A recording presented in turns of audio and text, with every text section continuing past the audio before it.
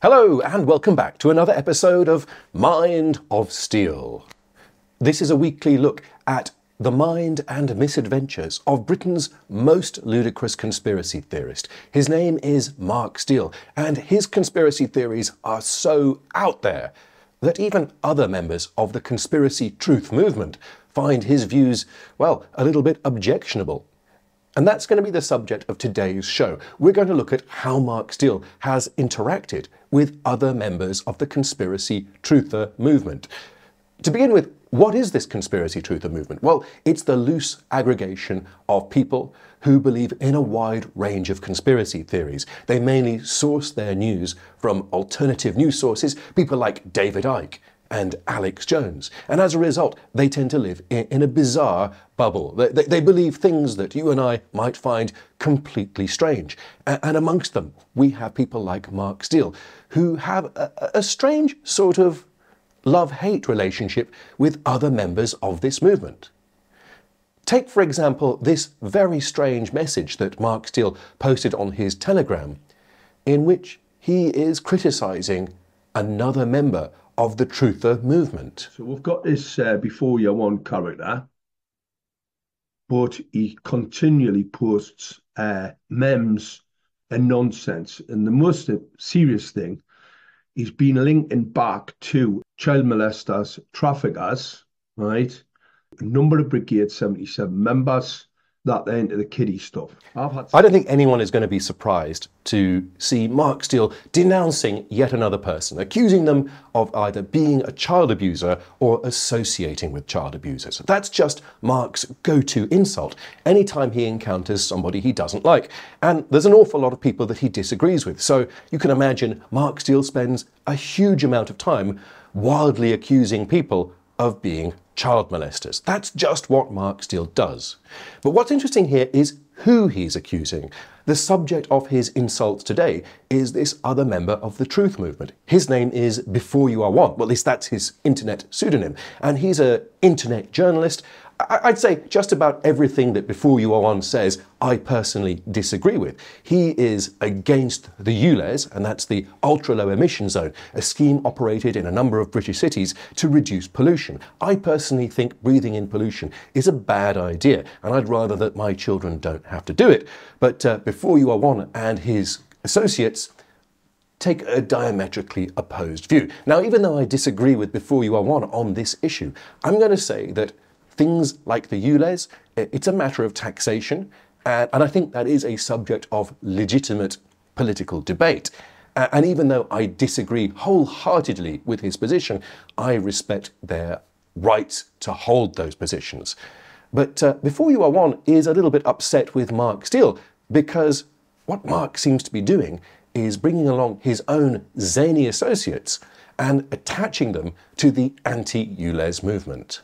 Mark Steele wants to infiltrate the campaign, with his very very expert opinion that the cameras are photon weapons, designed to kill you. We feel his very very expert opinion will damage the campaign, and urge all grassroots campaigns to stay well clear of this man. Mark Steele claims to be a committed member of the anti-ULEZ movement. But I think Before You Are One and the other anti-ULEZ campaigners probably have a legitimate gripe with Mark Steele because the way Mark Steele behaves and the people he chooses to associate with bring the anti-ULEZ movement into immediate and utter discredit. How could anybody believe a campaign that's based on these kinds of ridiculous claims? Down in London today supporting the, the low emission zones guys, uh, but the real purpose of it is that. That there is not a camera. Right, it's not a camera, that's a multi-photon, multi-phased piece of battlefield derived weaponry. Multi photon ionizing radiation emission devices. That's what Mark Steele believes the ULEZ cameras are. They're not cameras in his imagination.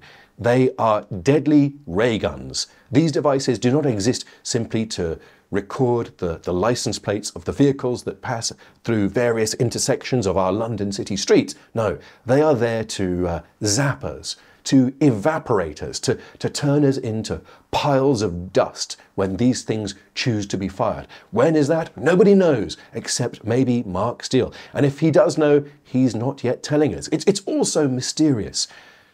So it's no wonder that the people who are simply concerned with taxation and just wanting to drive their polluting vehicles are upset with Mark Steele because he is sending a completely confusing signal about their campaign. But it's not just Mark Steele's crazy ideas that are hampering the anti ULEZ campaign. It's the fact that he brings along some of his crazy friends, like uh, this guy. Do you recognise him? Through to Modern Day Jester right now, through to Mark Steele, and this amazing man here, Mr. Uh, Matt.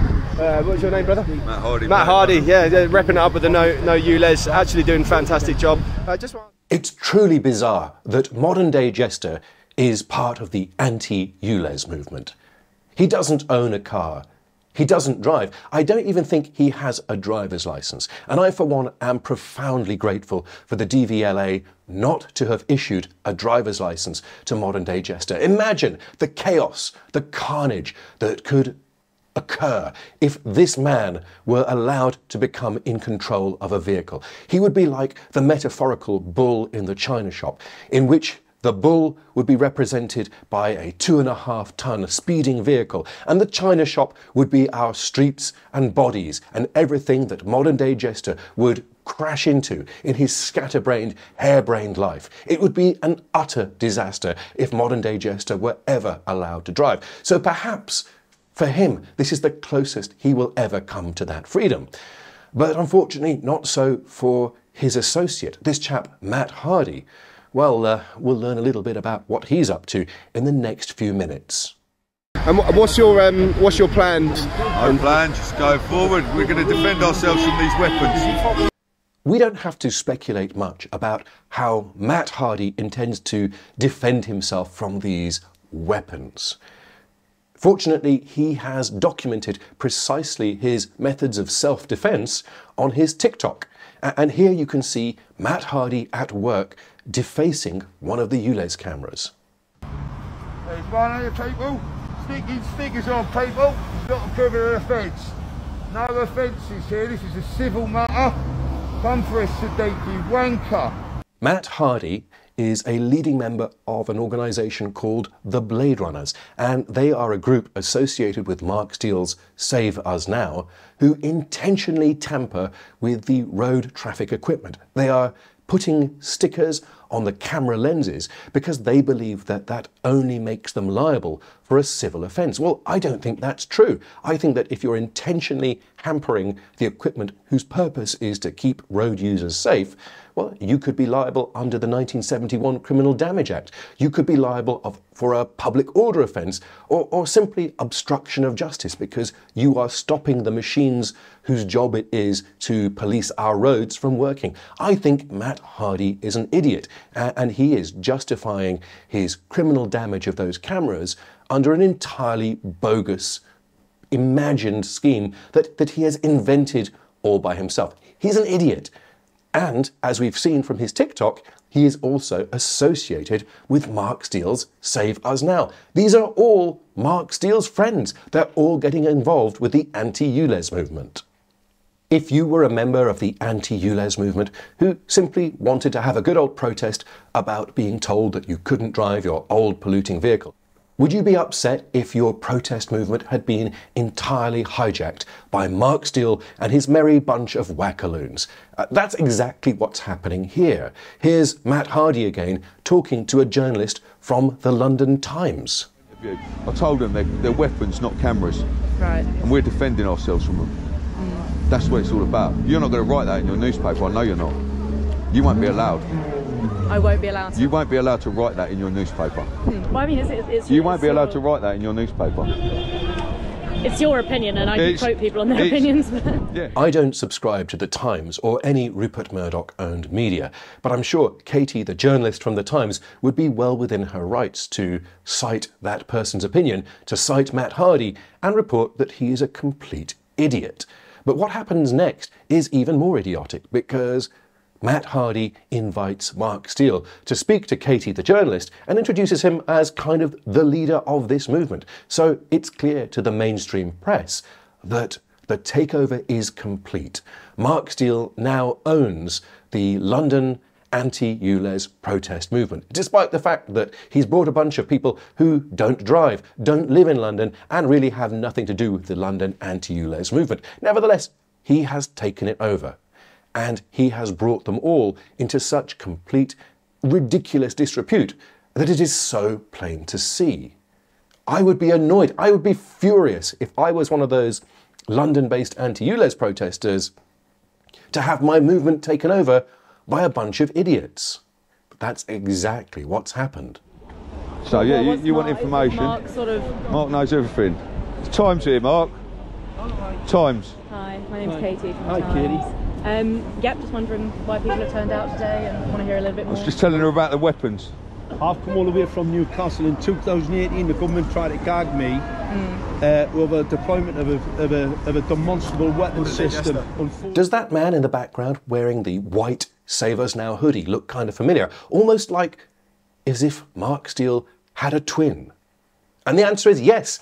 That is Mark Steele's twin brother. His name is Graham Steele, and he's every bit as crazy as Mark Steele. He is the co founder of the Save Us Now political party, and he was there in London joining that protest. It's proof, if you ever needed it, that the London protests were entirely taken over by the Gateshead crew of Save Us Now and Mark Steele's completely crazy friends. But Matt Hardy isn't from Gateshead. He is a London local. But what he said to the journalist was entirely and utterly incriminating. Yeah, these things are weapons grade. I've seen a video of one getting slapped with a sledgehammer 20 times and it doesn't even dent it. They're weapons grade. They're they're they're, they're a unit that's this big. They're a heavy unit. I've felt one. I picked it up in Biggin Hill. I picked one up in my hand and held it. It's a heavy unit. It's way too heavy to be a camera. Why do they? What was Katie the journalist from the Times supposed to make of Matt Hardy's bizarre confession? The fact that he had been bashing the cameras with sledgehammers whilst filming this and also cradling them in his hands. The fact that he, in his expert opinion about cameras, had come to the conclusion that it could not possibly be a camera because it was too heavy. Well, I'm sure Katie concluded, as we are concluding, that they are all a bunch of idiots. She saw that modern day Jester was a complete imbecile. She saw that Matt Hardy was a self confessed criminal who had been vandalizing the camera system, and she saw that this whole thing was being masterminded by a pair of obvious grifters. Mark and Graham Steele, the founders of the Save Us Now political party, the force behind this protest. It was all down to them. I'm sure that's what she concluded because anybody watching this would conclude the exact same thing. They're not It's cameras. a They're camera. weapons. it's not a camera. It was the, the, the battlefield derived uh, battlefield interrogation equipment. And what actually happened? It makes perfect sense that the anti ULEZ campaigners in London are upset that a gang of crazies from Gateshead have attempted to take over their campaign. Grifters like Mark and Graham Steele, criminals like Matt Hardy, and complete imbeciles like modern day Jester. They are now attaching themselves to the London anti ULEZ campaign and making it part of their ridiculous grift. So it's no wonder that Before You Are One is attempting to call out Mark Steele, and that in turn explains why Mark Steele is demanding that Before You Are One renounce Satan, because as we all know, anybody who disagrees with Mark Steele must be a Satanist. So let's rejoin Mark in mid denunciation and see what his opinion of this whole fiasco is. Say everyone should be announcing the synagogue of Satan. Okay? We are dealing with the synagogue of Satan and these Satanists, you see. So I'm asking him again, you still haven't renounced Satan and all his works. So what's the hold up? Right? Because I know you see they cannot renounce their master. Here and now, do you renounce Satan and all his works and ways? It's a dead simple question, not complicated. I can answer that very quickly, right? Absolutely. Mark has renounced Satan and all of his works. And I'm hoping that that makes Mark feel wonderful. And in the glow of that wonderful feeling, Mark, maybe you should take the next obvious steps. Before you ask, before you are one, and other members of the Truth Movement to renounce Satan and other fictional characters from a religion that, that they may or may not be part of. why don't you renounce lying about your own career? Mark Steele claims to be a former Ministry of Defence weapons systems expert. I'm a weapons systems head-up display expert. I'm a weapons systems expert. And I'm a weapons systems expert. No, you're not. You're I'm a weapons systems expert. I'm not an electronics expert. I'm a weapons systems expert. I'm a weapons systems expert. Yeah. And Mark, before you piously demand that before you are one, renounce Satan, why don't you renounce shooting a teenage girl in the face? Because that's what you did while you were working as a pub bouncer at the Redskins pub in the town of Washington, which is near Gateshead, where you live. You recklessly discharged a firearm in an act of bravado and accidentally shot a teenage girl in the face, causing her to lose the ability to walk for a number of years. You caused massive amounts of harm to a real human being. It's really easy to demand that people renounce Satan and get into some kind of metaphysical worrying over a, a, being that may or may not exist according to your spiritual worldview. But Mark, you really did lie about your career and you really did shoot a teenage girl in the face. So, Mark, until you can come to terms with your own crimes, you really don't have a leg to stand on, especially not when you're criticizing other members of your own movement. Hasn't it been another exciting delve into the mystical, murky world of Mark Steele? And if you join me in one week's time, I will be sure to have some more fresh delicacies of idiocy prepared for you, sliced up into bite sized morsels, served on a platter, and offered to you for your delectation. See you in a week.